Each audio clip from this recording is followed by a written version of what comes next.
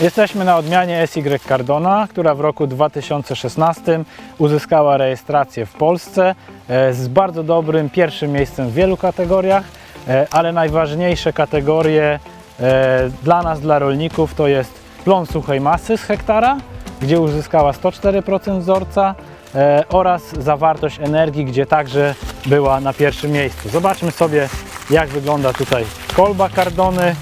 E, Wygląda bardzo dobrze. Przypominam, że jest to odmiana kiszonkowa. Akurat w tym doświadczeniu zbieramy ją na ziarno, a nie na kiszonkę, no bo kiszonka o tej porze roku, o tej, o tej wilgotności już nie powinna stać na polu, ale badamy ją także na ziarno, ponieważ e, jest to bardzo dobra odmiana ziarnowa, która świetnie oddaje wilgotność. Ziarno w typie flint ma dużą zawartość skrobi szklistej, e, która nie jest rozkładana w 100% żwaczu, a jest rozkładana także na jelicie cienkim, dzięki czemu e, mamy energię bypass tak zwaną, czyli tą, która jest rozkładana właśnie na jelicie, a tak naprawdę za nią e, dużo płacimy w paszy. Tutaj mamy ją za darmo, po prostu wybierając odpowiednią odmianę, odmianę w typie flinta.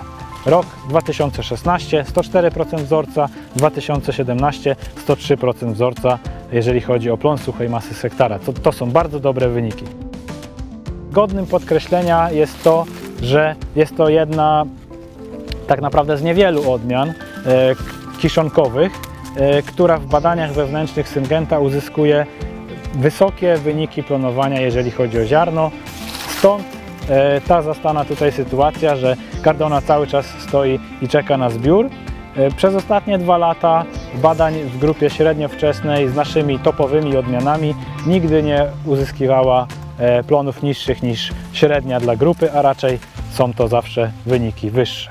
Podsumowując, SY Cardona to bardzo wysokie plony suchej masy z hektara, czyli to, czego producenci mleka najbardziej potrzebują.